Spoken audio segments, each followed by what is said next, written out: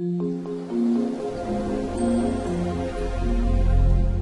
hey, welcome back again. Uh, so the app we're going to make this time is called Image Uploads. It's actually a pretty short unit. Usually we show you like all kinds of extra features when we've got one core thing we're trying to show you, but this time we're just going to show you the one core thing. So it's going to make for a pretty short unit.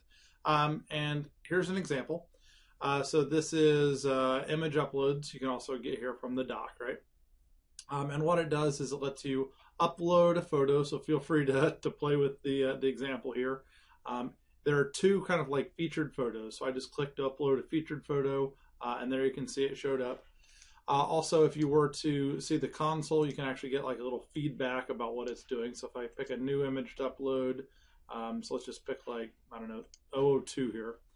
And it says that it's uploading 002, and then it says upload is complete, uh, and then boom, it shows up. You can see the time delay is proportional to how big the image is. Uh, so for example, if I grab a smaller image, uh, so here's just like a really small image of me, um, I'll say upload that, and you can see that that upload goes very quickly.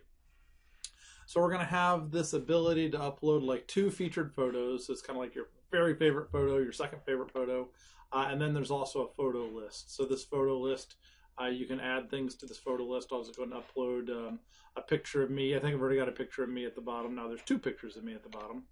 Um, but you just uh, can upload things to a list here. And so we just wanted to show you how do I upload something to like to a single spot, like a favorite photos, uh, and then how do I upload something onto the end of a list.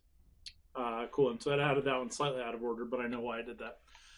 Uh, so this is the app we're going to make. Uh, so let's just go ahead and get started. Uh, so go ahead and make yourself a place to save your work, uh, either on Ada or GitHub. Um, I recommend you call it something like, you know, image uploads. Um, and in the description, if you want to put a description, it can be like, you know, learning to use Firebase storage for image uploads. Uh, great. So there I've got a project that I can make.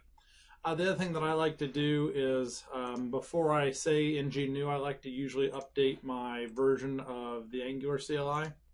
Um, it looks like it is updated to, I don't know, 1.3 or something now. Uh, but if you want to go through, you can install the global package.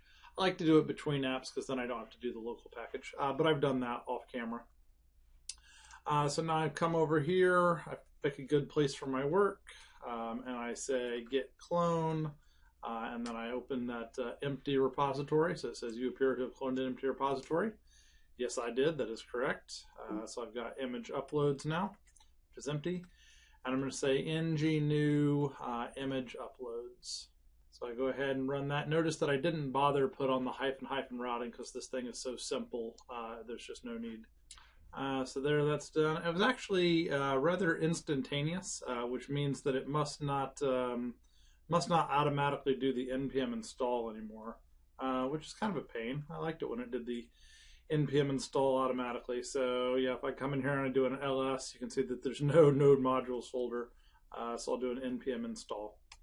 Um, and of course, that's the slow step, uh, is the npm install. And it used to do that automatically in older Angular CLIs, but I guess it stopped doing it, which is fine. It just means it messed up all my old videos. Um, so while it's doing its npm install, I like to go over to the Angular console um, and I like to uh, make a new project. Uh, so you can go ahead and click on add new project. I've already got one here. It's called Fisher DS image uploads. I just kind of like to prepare a place for my work while it's doing the npm install. For this app, we're going to be using the database, we're going to be using storage, but we're not going to be using authentication. Um, since we're not going to be using authentication, uh, you'll have to go into the database and change some rules in here. So the database rules, you can see I've got a bunch of data already. I'm just going to delete all that data, just kind of get rid of it. Goodbye. By the way, that does completely mess up my uh, deployed version, which is fine. Uh, and then the rules for the database that you're going to need are true, true.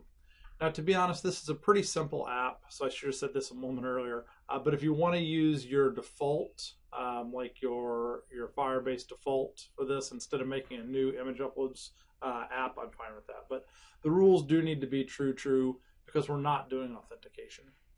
We're also using storage this time, uh, and storage has its own rules. Um, and so you'll notice that for storage, uh, it probably says like request.auth is is not null or something like that. Um, but over here you want uh, if true as well. Notice that the syntax for the rules in storage is totally different. Um, it uses kind of like the new rules. Um, and so this is one of the reasons why I haven't taught you things because there's kind of like different rule systems. Uh, you'll also notice that I have things saved in my storage bucket uh, and I want to delete them uh, just so that I can kind of start fresh uh, where you started. Cool, there my files were deleted. All right, by now the npm install should have finished. Uh, yeah, it looks like it's finished and then some. And so I'm going to need to open up in uh, Visual Code Studio, uh, making sure I select the uh, image uploads, uh, the Angular folder, not the Git folder. Um, and I should have um, a bunch of things to check in. Yeah, it looks like I've got about uh, 30 things to check in here. So this is my ng new image uploads. Uh, just like that. It looks good. Notice that I didn't put on the hyphen hyphen routing because I didn't type the hyphen hyphen routing. Uh, and then I'll check it down and I'll put it in the origin branch. Uh, cool. And then the next thing I want to do is I want to ng serve this guy. Uh, just make sure everything is happy-go-lucky. So it started up there, and then I'm going to go open it up in Chrome. So I'm just going to go ahead and go to localhost 42, uh, and I get this crazy little uh, intro thing. Uh, I think I'll go ahead and delete the spec file. Uh, there's one spec file that I didn't really want, so I just got to move that to trash. Didn't really need that guy. Um, and then I suppose I ought to say delete spec file. Uh, and then I could do some more things with the uh, the Angular CLI and, and setting my defaults like Sassy, CSS, and things like that. And but this app is going to be so simple. I'm just not worried about those things. All right, so we've got uh, the basic setup done. Come back next time, and we'll start uh, doing some real things. All right, we'll see you then. Bye.